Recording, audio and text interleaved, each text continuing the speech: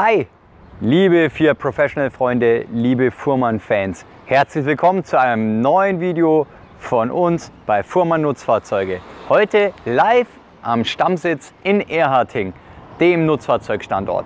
Ich zeige euch heute das Neueste von Fiat Professional und ganz exklusiv für euch. Also seid gespannt, denn ich habe für euch den neuen Fiat Ducato Modelljahr 2021 Serie 8. Lange darauf gewartet, jetzt ist er da und ich kann euch sagen, er hat es richtig in sich. Und dabei sind die Äußerlichkeiten eigentlich nur klein gehalten. Aber innen drin, da könnt ihr gespannt sein. Da verstecken sich ganz neue Werte. Wir schauen uns das gleich an. So, ihr habt es sicherlich gleich entdeckt. Neu beim Fiat Ducato ist die Front und vor allem das Markenlogo.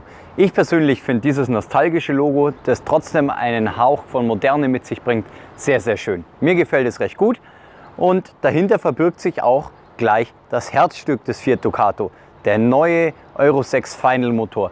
2,2 Liter mit vier verschiedenen Leistungsausführungen oder Ausprägungen.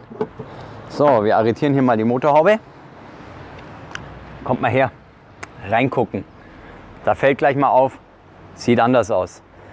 Der 2,2 Liter ist ein extra Transportermotor, den Fiat wieder hier für euch entwickelt hat. Wir haben 120 PS, 140 PS, 160 PS und 180 PS in der Maximalausführung.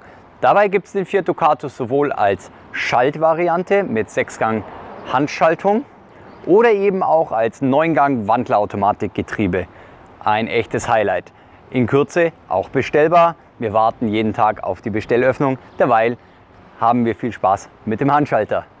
Was kann dieser neue Motor? Das probieren wir nachher noch aus. Wir probieren das natürlich. Wir drehen eine Runde. Solange machen wir hier nochmal die Klappe zu und gucken uns den Ducato weiter in den Details an. Was haben wir denn noch beim neuen Fiat Ducato 2021? Die Scheinwerfer. Auf den ersten Blick wirken sie vertraut, doch wir haben etwas Neues. Ab jetzt gibt es Full-LED-Scheinwerfer. Hier in dieser Ausführung nicht verbaut. Äußerlich sehen sie aber erstmal identisch aus. Im Inneren liegt dann das Detail. Heute hier die ganz normalen Halogenscheinwerfer mit einem LED-Tagfahrlicht. Das kennt ihr schon, aber an diesem Auto auch neu. Der Nebelscheinwerfer jetzt mit Abbiegefunktion. Nicht gerade Rocket Technology, aber doch ein neues Feature, was sehr recht angenehm ist bei Abbiegevorgängen.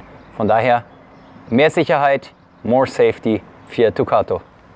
Jetzt geht's los. Wir haben uns alles jetzt einmal im Detail angeschaut. Jetzt wollen wir natürlich wissen, wie fährt sich der neue Fiat Ducato? Wie ist es in diesem neuen, modernen Arbeitsplatz zu sitzen, zu fahren und wie gibt sich der Motor im Alltag? Ich möchte euch mal noch was zeigen. Schaut mal. Habe ich auch oft vermisst. Neuer, hochwertiger Schlüssel. Macht gleich viel mehr Spaß, sowas anzufassen. Fühlt sich satt an. Rennenschloss damit. Und schon geht das voll digitale Display an. Und wir starten. Klingt satt, aber trotzdem ruhig. Gang rein und Blick auf die Straße, los geht's. Tasten wir uns mal in den Verkehr rein.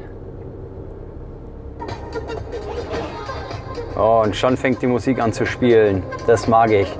Wir machen jetzt mal leiser und tasten uns raus. Oh, schön. Geht schön, nimmt schön den Gang an. Schaltknauf liegt super.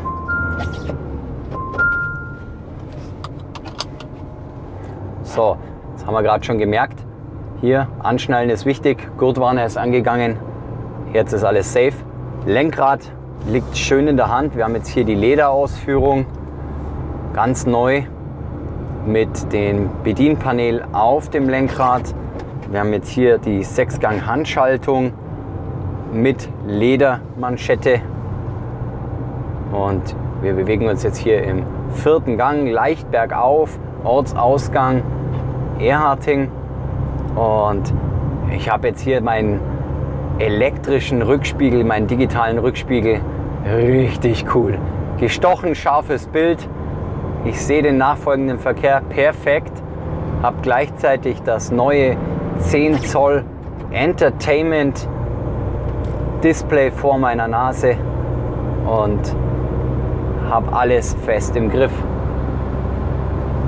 So, fünfter Gang, 70 km haben wir schon überschritten, das Auto marschiert gut, hängt schön am Gas. Klar, wir fahren jetzt gerade leer, das Auto ist nicht beladen, aber dennoch guter Fahreindruck, sehr laufruhig der neue Motor, die Innenraumgeräusche deutlich geringer, das kann man gleich mal feststellen. Und macht einfach Spaß. Der Komfort auf dem Sitz ist bekanntermaßen gut. Wir haben auch hier wieder den Sitz, der ja in allen Richtungen verstellbar ist.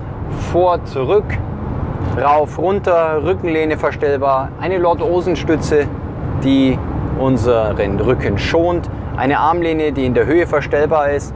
Und auf der linken Seite für den anderen Arm die Ablage und hier sind ja auch die Ablagen und die ganze Türverkleidung neu designt worden.